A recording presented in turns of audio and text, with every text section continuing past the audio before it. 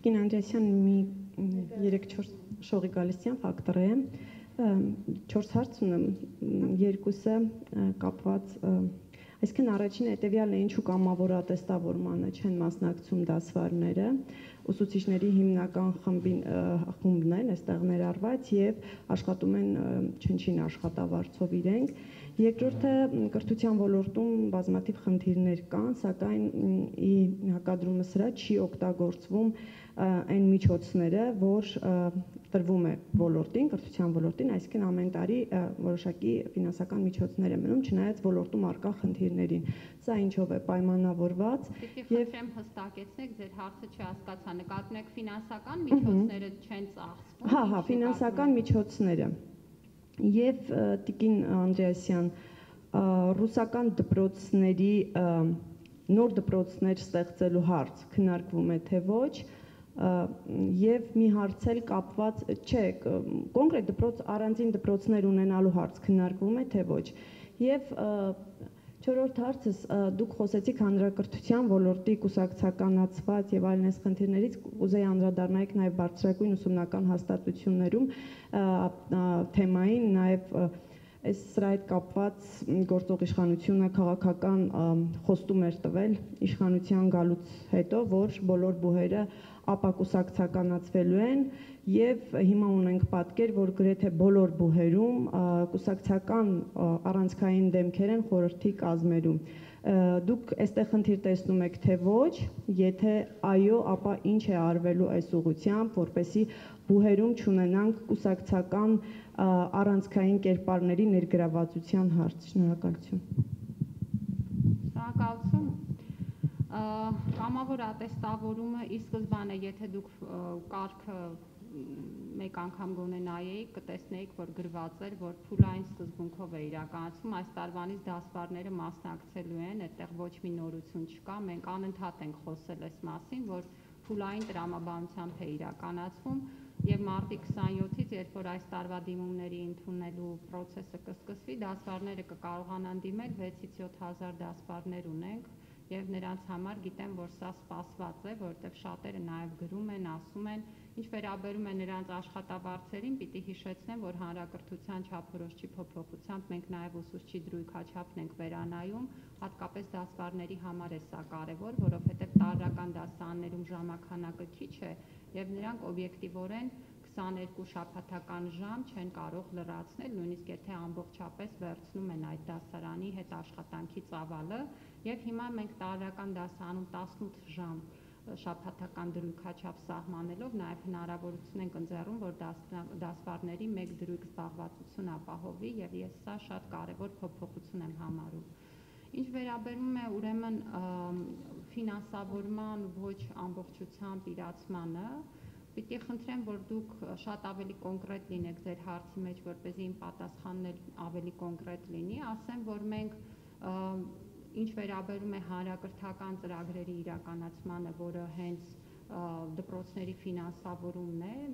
ամեն տարի ունենում ենք 99% եւ ավել կատարողական, այսինքն այստեղ չենք ունենում չֆինանսավորման խնդիր, մեր չկատարումը հիմնականում տեղի ունենում կապիտալ ծախսերի մասով, որը խնդիր է ոչ միայն կրթության ոլորտի, այլև ընդհանուր առմամբ բոլոր ոլորտներում, ինչը նշանակում է, որ դպրոցների կրթական այլ հաստատությունների շինարարության գործընթացներում ունենում ենք տարբեր տեմպ, տարբեր կարողություններ եւ դրանից կախված ոչ ամբողջությամբ է իրականացվում պլանավորված, այսինքն օրինակ եթե պլանավորել էինք, որ այս տարի պիտի ավարտվեր այսքան դպրոցի շինարարության, process ոչ միշտ է, որ այդ շինարարությունը ավարտվում է այդ ժամկետներում, լինում են ձգձգումներ եւ դրանից կախված կարող են լինել այո որոշակի շեղումներ պլանավորված ցուցանիշներից, բայց կարևորը որ դրանք բոլորն էլ իրացվում են։ Այստեղ գիտեք, խնդիրները շատ տարբեր են լինում։ Ձեզ ասենք օրինակ վերեմ, կարող է դպրոցի կառուցումը պլանավորվել է եւ նախագծով 2 տարի ժամանակ է եղել, սկսում են քանդել, պարզվում է, որ գրունտի հետ լրացուցիչ խնդիր կա եւ լրացուցիչ աշխատանքների կարիք կա, որը պետք է իրականացվի, որովհետեւ դպրոցները պիտի լինեն սեյսմակայուն եւ աշխատանքները լրացուցիչ ձգվում են օրինակ եւս մի քանի ամիս, պարզ է, որ եթե այդ աշխատանքը պիտի ավարտվեր նախորդ տարվա դեկտեմբերին, ապա դեկտեմբերին չի ավարտվում, ավարտվում է մյուս տարվա մարտին, այդքանով ցուցանիշը իջնում է, բայց աշխատանքը ի վերջո արվում է։ Բայց սա նաև կարողության խնդիր է։ Պետությունը շատ մեծ չափով ավելացրել է կապիտալ ծախսերը, միայն մեր ոլորտում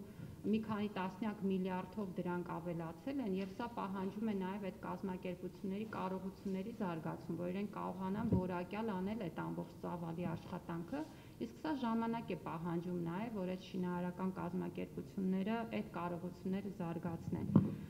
Ինչ վերաբերում է ռուսական դպրոցներին, ես թեման սպառված եմ համարում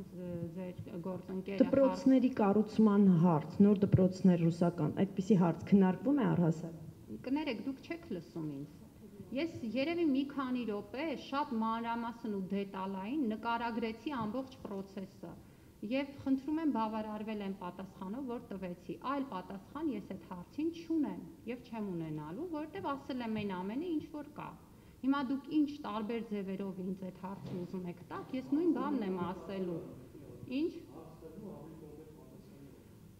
ավելի կոնկրետ, քան ասել, որ եղավ հիմա կրկնեմ այդ նույն բանը։ Դեկտեմբերին տեղի ունեցել հայ-ռուսական միջկառավարական հանձնաժողովի նիստ, որի արձանագրությունում ֆիքսվել է եւ այդ արձանագրությունը հասանելի է, որ պետք է ստեղծվի աշխատանքային խումբ եւ այդ խումբը ստեղծվել է, որը պիտի քննարկվի կոնցեպտը ավելի կոնկրետ ասելով ինչ նկատի ունեք այդ մարդկանց անուն ազգանունները ասեմ դա արդեն անձնական տվյալների բացահայտում է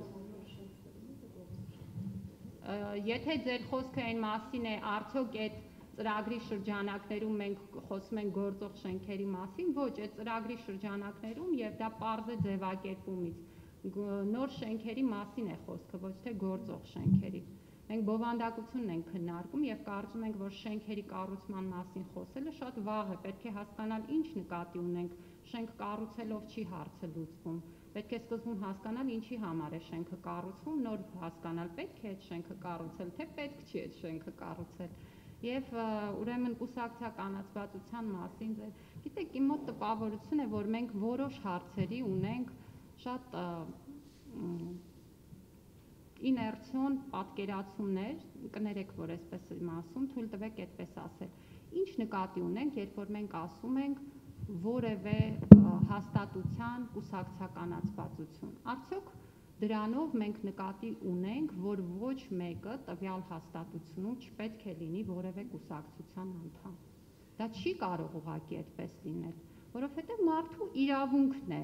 լինել կուսակցական կամ չլինել կուսակցական։ Եվ որևէ մեկը չի կարող ասել, որ օրինակ մեր ոչ մի ուսուցիչ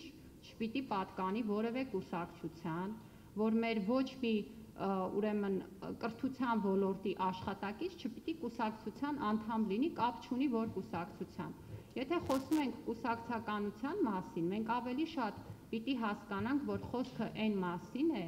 որ ինչ որ ուրեմն լծակներ գործադրվեն որևէ կուսակցության օկտին գործունեություն ծավալելու ուղությամբ։ Այսինքն օրինակ, որ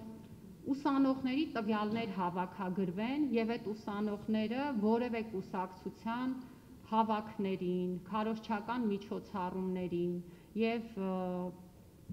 ել չեմ խոսում ընտրությունների մասին, հա, այսինքն այդ ազդեցությունները օգտագործվեն կուսակցական գործունեությանը ի նպաստ բերելու։ Մի վարքյան խոսքս ավարտեմ։ Ես վստահաբար կարող եմ ասել, որ այդ իմաստով բուհերը կուսակցականացված չեն այն իմաստով, որ որևէ բուհի արչև, եւ սա ասում եմ ամենայն պատասխանատվությամբ, որպես այս ոլորտի, այս պահի ղեկավար, որևէ բուհի արչև չկա դրված քաղաքական խնդիր, կուսակցական խնդիր ու չի կարող դրված լինել։ Եվ եթե նկատի ունեք, որ բուհի խորհրդում լինի անձ, ով զբաղեցնում է քաղաքական պաշտոն, ապա այստեղ չպետք է ընկնել ծայրահեղության մեջ։ Ես նախարարի տեղակալ էի եւ դարձա մանկավարժական համալսարանի հոգաբարձուների խորհրդի նախագահ բայց ես նախարարի տեղակալ էի քաղաքական պաշտոն զբաղեցնելով, ով համակարգում էր հանրակրթության ոլորտը ու իմ մանկավարժական համալսարանի հոգաբարձուների խորհրդում ներգրաված լինելը շատ հիմնավոր է ու տեղին է որովհետև հանդես գալով իբրև մարդ, ով որոշումների կայացման վրա ունի մեծ ազդեցություն հանրակրթության ռեֆորմի, բովանդակության, ուղղվածության, ես պետք է լինեմ այդ հոգաբարձուների խորհրդում, որ เป զի կարողանամ մանկավարժական կրթության կազմակերպման, բովանդակության վերջնարդյունքների մասը համահունչ դարձնեմ իմ պատկերացումներով, նախարարության պատկերացումներով այն ռեֆորմներին, որ արվում են։ Հետևաբար մենք պետք է նախ եւ առաջ գանք հստակեցնենք ինչի մասին ենք խոսում եւ ձեր ասած խնդիրը, եթե ես ճիշտ ձևակերպեցի, միանշանակ պնդում եմ, որ չկա։ Տիկին Անդրեասյան, եթե կարելի է երկու դիտարկում, պարզապես Նիկոլ Փաշինյանը երբ որ հայտարարում էր, որ կառավարման խորհուրդներում պետք է կուսակցական անձինք չլինեն, նա չէր ասում, որ այդ անձինք չպետք է լինեն, եթե նրանք ամբողջ, չգիտեմ, ուսանողական կամ պրոֆեսորադասախոսական կազմին կուսակցականացնելու ինչ որ ճանապարհով կգնան եւ այլն, նա պարզապես ասում էր, որ բուհերում չպետք է լինեն անձինք, ովքեր կուսակցական պատկանելություն ունեն եւ գտնվում են այդ կուսակցության առանցքային դերակատարներից են ձեր օրինակն եք ասում դուք քաղաքական պաշտոն եք զբաղեցնում բայց կուսակցական չեք եւ քաղաքացիական պայմանագիր վարչության պայմանագրի վարչության անդամներն են բուհերի կառավարման խորհուրդների այսպես ասած կազմերում եւ ղեկավար անձինք են դուք սա խնդրահարույց չեք գիտեք ձեր էլի եմ ասում երբ որ եւ ես կարծում եմ որ լրագրողների անմիջական նաեւ գուցե աշխատանքի մաս է հայտարարության կոնտեքստների նաեւ վերլուծությունը եւ ես կարծում եմ որ այն խնդիրը որը մատնանշել է վարչապետը եւ որը դիտել է իբրև խնդրահարույց, այս մոտեցումների շրջանակներում ամբողջությամբ հասցեագրվում է, ինչ վերաբերում է վարչության անդամների խորհուրդներում լինելուն, ես պիտի խնդրեմ այդ ձեր ուշադրությունը սևեռեք, հանեք մեր բոլոր բուհերի խորհուրդները եւ տեսնեք դրանցից քանիսում է, որ ներառված է վարչության անդամներ։ Հիմա դուք ինձ կարող եք բերել ընդամենը մի քանի օրինակ Որն է խոշորները։ Օրինակ ԵՊՀ-ում Սուրեն Պապիկ։ Նայեք,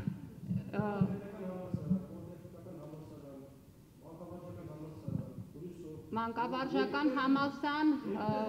մանկավարժական համալսարան հենց նոր ձեր գործընկերը չնայած ես ինքս բերեցի իմ օրինակը բայց փորձեցի